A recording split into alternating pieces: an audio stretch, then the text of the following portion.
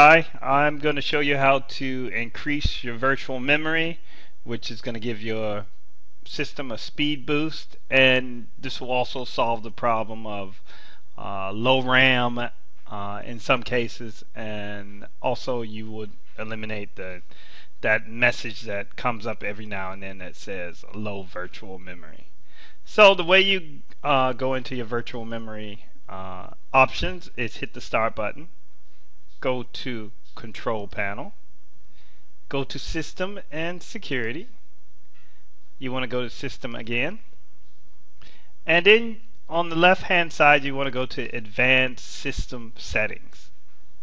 And this is going to bring you up to your system properties and under the performance heading click settings and then go to the advanced tab and here you're going to see the virtual memory setting and there's some really good tips uh, to listen to here.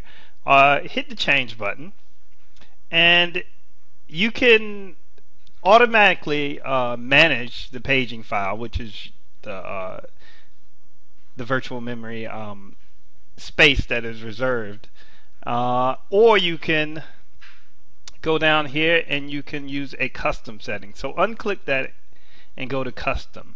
Now usually you want to have 1.5 times um, your RAM. So that means if you have 1 gig of RAM, you're going to have 1.5 gigs of free space that is going to be used for virtual memory. So in here, you just want to put an initial size and a maximum size. This is because the paging file will change depending on your computer's need. So say if I would put, uh, this is just an example, because you're going to have to do the calculation on your own, 1500 and 1500. This will keep the paging file from changing. Uh, that means that you will always have that extra RAM or extra virtual RAM space there at any time instead of the um, it being uh, fluctuated. And that, that will save on computing resources also. Just hit OK and then you're done. And that's how you change your virtual memory. Hope that helps, guys. Uh, for more questions, uh, please leave any comments in the comment box. Um, you can, for more tips on increasing your RAM or your computer performance, please check out delete-computer-history.com.